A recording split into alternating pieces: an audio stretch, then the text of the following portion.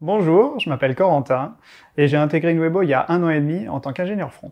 Les technos qu'on utilise essentiellement, ça va être trois gros frameworks. On est sur du Ionic pour des euh, applications mobiles hybrides, donc tant sur de l'Android que de l'iOS. On a aussi euh, comme autre framework, on a de l'Angular, donc du TypeScript, qu'on a associé avec le Ionic.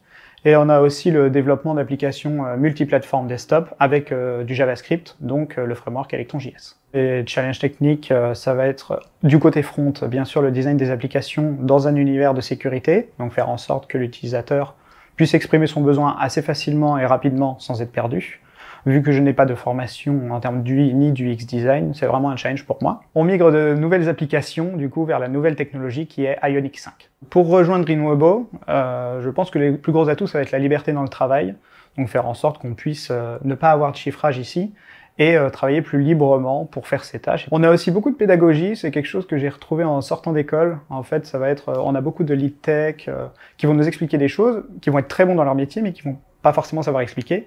Et là, en l'occurrence, c'est quelque chose que j'ai retrouvé ici. Et euh, une dernière chose, peut-être un peu bête, mais c'est un centre névralgique des transports en commun. Et ça, ça m'aide beaucoup puisque j'habite en périphérie plus plus, on va dire, de Paris. Et ça m'aide à venir directement sans trop de temps de transport.